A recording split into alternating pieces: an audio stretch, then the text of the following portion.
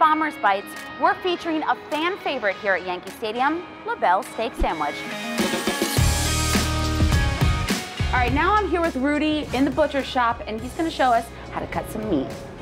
This is the real deal, the highest grade of fine beef you're gonna find anywhere.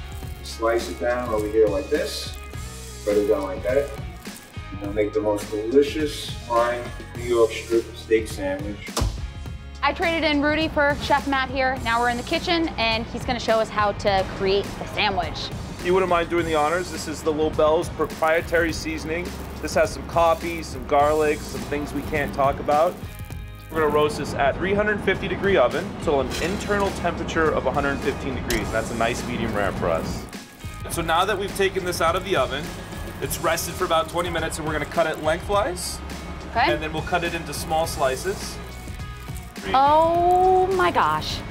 All right, so here we have some au jus that we make here at the stadium, and this is really just to kind of give the meat a little bit more seasoning. Here we have a brioche bun, and really all we're doing is just making sure the meat's nice and warm and giving a little extra seasoning, and then we build the sandwich.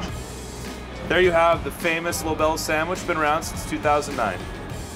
You can find the steak sandwich anywhere around the stadium, but the original Lobel's is right behind section 133.